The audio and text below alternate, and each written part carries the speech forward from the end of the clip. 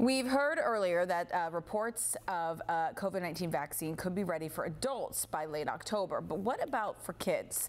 An online post claims that it could take 8 to 10 years before a vaccine is actually ready for kids.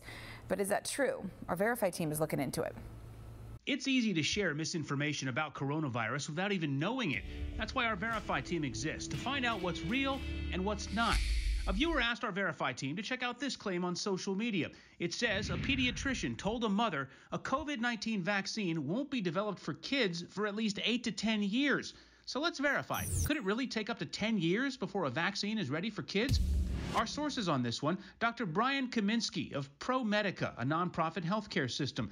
Dr. Buddy Creech, a pediatric infectious disease expert at Vanderbilt University School of Medicine and the Johns Hopkins University Center for Global Health.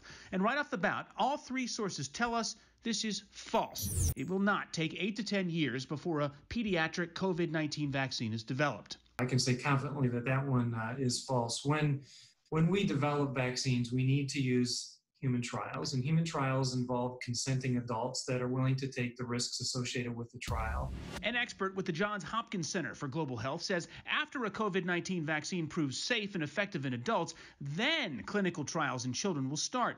The center says at least one manufacturer is planning to test their vaccine in children, and others are working on doing the same.